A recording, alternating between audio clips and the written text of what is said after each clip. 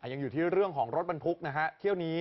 เกิดขึ้นกับรถบรรทุกคันหนึ่งครับค่ะ18ล้อคุณผู้ชมวัยรุ่นหัวร้อนสุดเดือดครับคว้างมีดยาวเกิน 1 ฟุตนะ เข้าไปที่รถบรรทุกทรายฮะหลังจากเขาวิ่งฝุ่นตลบนะฮะและทางเจ้าของรถเนี่ยก็ยืนยันบอกว่าเขาไม่ได้ขับรถเร็วค่ะแต่ว่าโอ้โหจุดนี้นี่คือชาวบ้านเขาบอกว่าฝุ่นตลบเสียงดังรบกวน เหตุเกิดริมถนนสายผงเพงบางบานนะฮะที่อำเภอป่าโมกจังหวัดอ่างทองครับ นี่ครับสภาพของประตูรถบรรทุก18ล้อ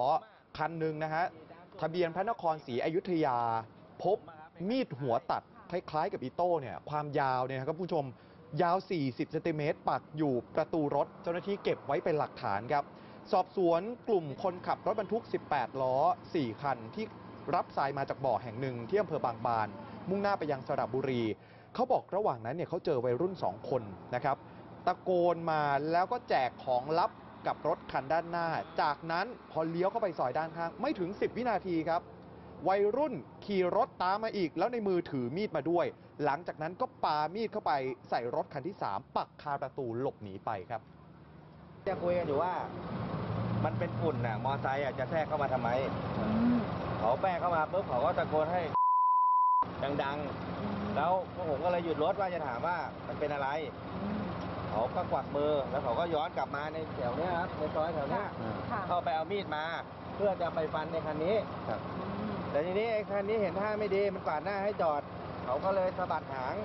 เพื่อแบบว่าหยุดการกระทำสักพักมอเตอร์ไซค์เขาก็พลิกลง ผมก็ตามตูดไปโดยที่ว่าไม่รู้ว่าจังหวะนั้นอะ เขาจะเพี้ยงใส่กระจกอะไรแต่ปักอย่างนี้นะครับ สักพักหนึ่งเขาปักมือแล้วเขาก็ขับรถวนเข้าหายไปแบบแป๊บเดียว นับหนึ่งยังไม่ถึงสิบเลยแล้วสักพักมีดก็มาแล้วกว้างมีใส่เลย ตอนแรกเขาจะยังไม่กว้าง เขามาเทียบข้างรถผมทั้งๆที่ผมไม่ได้ทำอะไรให้ ไม่ได้ด่า ไม่ได้บีบแต่ไม่ได้เบียด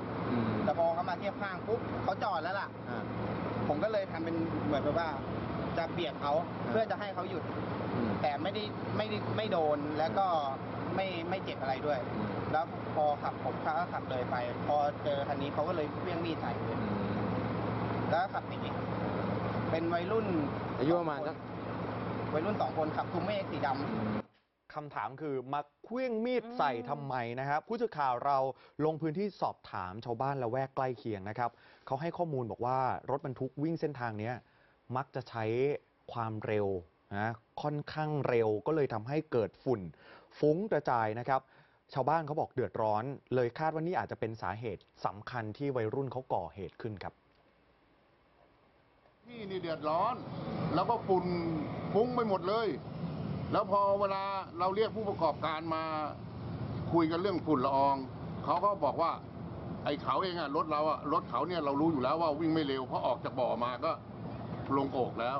แล้วคราวนี้ไอ้รถพวกเนี้ยมาเนี่ยรถตลาดเนี่ย จะวิ่งเร็วมานี่ไม่ไม่ไม่ได้เบาเลย แล้วอยากมาจะให้ทางหน่วยงานช่วยยังไงบ้างคะพี่ ให้หน่วยงานเนี่ย มาคอย จับคอยอะไรดูหน่อย ดูความแล้วนักเรียนมั่ง ชาวบ้านมั่ง โดนเฉียวโดนอะไรกันอยู่ประจำและสาเหตุที่รถบรรทุกโดนมีดเฟียงนี่พี่ว่าน่าจะเกิดจากผมว่าไปเฉียวเขาเข้าหรือเปล่ามาเร็วอะอ่า ชาวบ้านในพื้นที่เขาบอกว่าเรียกร้องหน่วยงานที่เกี่ยวข้องเข้ามาจัดระเบียบแล้ว คุณผู้ชมฮะโอ้โหฝุ่นฟุ้งกระจายแบบนี้ชาวบ้านเขาบอกเขาอยู่ไม่ไหวค่ะแล้วก็อยากจะให้จับกลุ่มรถที่ฝ่าฝืนกฎหมายอย่างจริงจังด้วย เพราะว่าเส้นนี้ครับบางบานผงเพงเนี่ยเขาเป็นที่ตั้งของบ่อทรายแล้วก็บ่อดินอืมรวมถึงท่าลงทรายจำนวนมากก็เลยมีค่ะความขัดแย้งระหว่างชาวบ้าน แล้วก็รถที่บรรทุกสิ่งพวกดินพวกหินเหล่านี้อยู่เป็นประจำครับ